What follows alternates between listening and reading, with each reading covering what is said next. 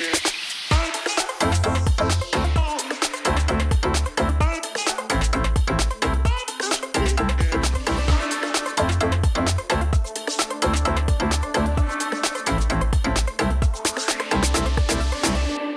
at Adobe are releasing some of our mobile apps onto the Chromebook.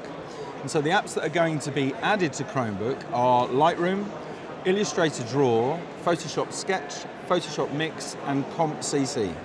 The initial idea with the mobile apps was rapid ideation and removing blocks to ideation, which especially with students is a good thing. So they have been designed and developed in conjunction with people from schools, high schools, colleges, and industries. This is Photoshop Sketch. It's actually a very, very capable tool. In fact, if I show you just a segment from the community gallery, these are things that people have built in Adobe Sketch. And they've done those just in that app. So I'm just going to brush here like so, and I want you to watch this really carefully.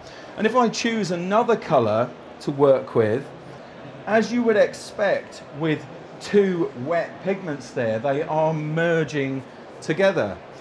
So the advantage here for students, they don't have to learn a complicated tool set to work with these tools. They are designed to be intuitive and easy to use. So they can just use the device that they've probably got with them all the time and their finger, and then they can produce works and bring their ideas to life, and then when they need to, they can send those out to the bigger, more powerful industrial tools. So I'd quite like a picture in here. So I'll draw a frame in Adobe Comp CC and I'm using this to populate it with.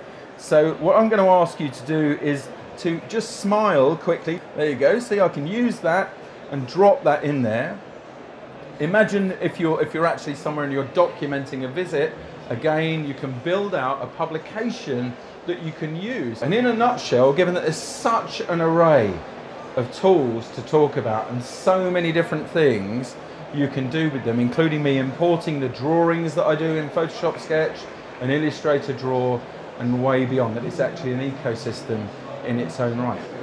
So to get hold of the apps, all the students need to do is on their device, go to their app store and search Adobe and they'll find all of the apps there and then just download them even with a free account, they've got most of the functionality and they can start using them straight away.